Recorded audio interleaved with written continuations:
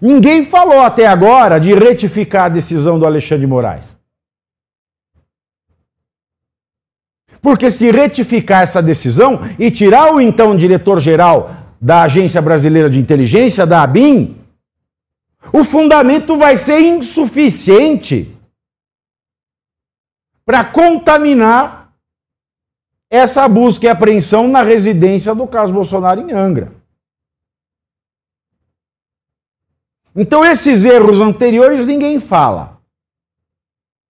Ah, mas ele fugiu com documento. Fosse mais esperto. Não foi esperto o suficiente para dar uma decisão com um erro grosseiro? Ou um mero equívoco? Porque talvez tenha sido levado a erro pela Polícia Federal? Que ao invés da Polícia Federal estar tá preocupada em corrigir o equívoco da decisão que autorizou essa busca e apreensão, agora estão preocupados em saber de quem era o jet ski e talvez vão fazer uma busca e apreensão num jet ski de uma maneira que a lei não permite, tratando de um assunto que a lei sequer sonha em tratar,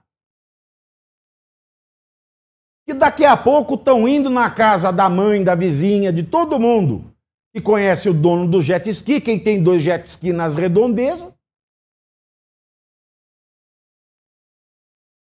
E vão começar a fazer busca e apreensão em todo mundo.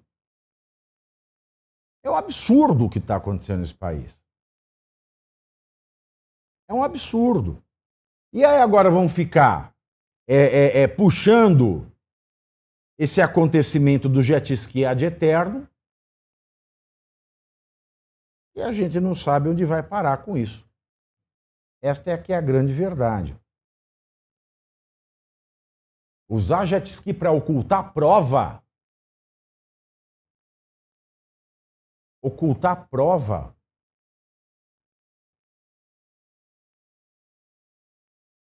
Ocultação de prova, fraude processual, requer um processo penal específico para que isso seja aprovado, porque a fraude processual, a inovação para fins de prejuízo de investigação ou processo criminal que ainda não tenha começado, é um crime específico. Tem que ter um processo específico para isso.